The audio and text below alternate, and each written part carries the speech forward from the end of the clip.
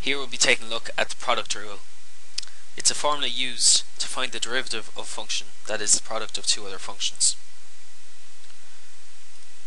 So here are some examples of when you'd use the product rule. So here you can see in the first one the function is made up of the product of two functions. In other words, it's one function multiplied by another. So 3x squared minus 7x, that's one function, multiplied by 5x minus 2, another function.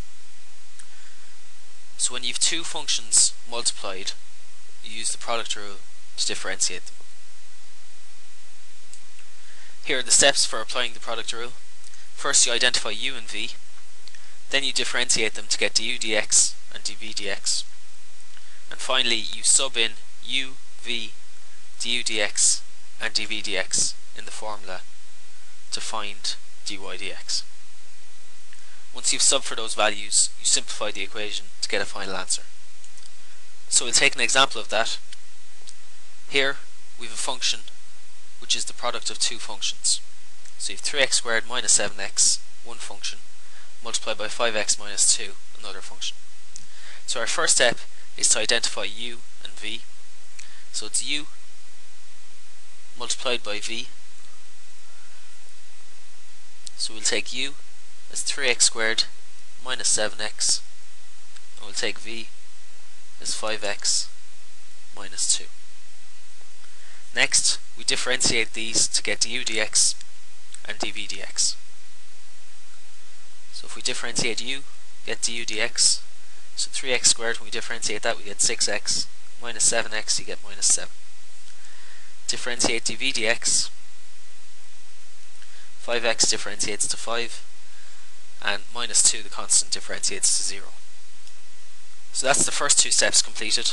Next, we have to sub in our values into the formula. So on the right is u, v, du dx and dv dx which we've just figured out. So we're just going to sub them into our formula for the product rule. So we've u by dv dx, so u is 3x squared minus 7x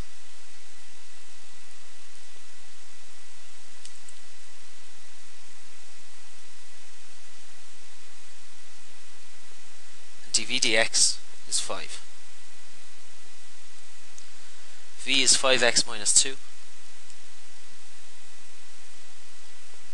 and du dx 6x minus 7.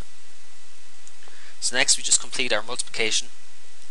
So we have 3x squared by 5 gives us 15x squared minus 7x by 5 gives us minus 35x. On this side we have 5x by 6x gives us 30x squared. 5x by minus 7 gives us minus 35x. Minus 2 by 6x gives us minus 12x. And minus 2 by minus 7 gives us plus 14. So with the multiplication completed, we complete any addition or subtraction. So we have 15x squared plus 30x squared gives us 45x squared. Let's just cross them off as you go along. Minus 35x minus 35x. It's minus 70x minus 12x gives us minus 82x. Then we have our plus 14. So that's our sum completed.